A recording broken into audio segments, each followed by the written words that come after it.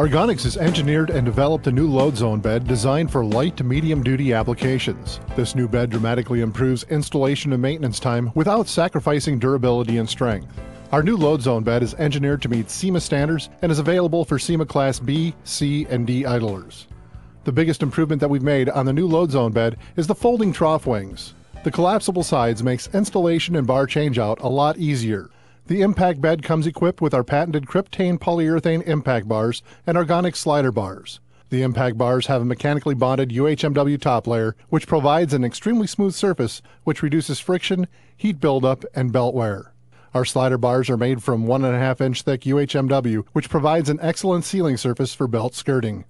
Each load zone impact or slider bed is engineered to fit your belt's width, trough angle, and CEMA idler class without the need for shims, saving you valuable installation time in the field.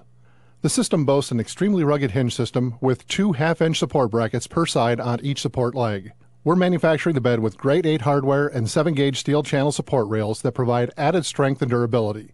The frame is powder coated to extend the life of the bed in the harshest operating environments.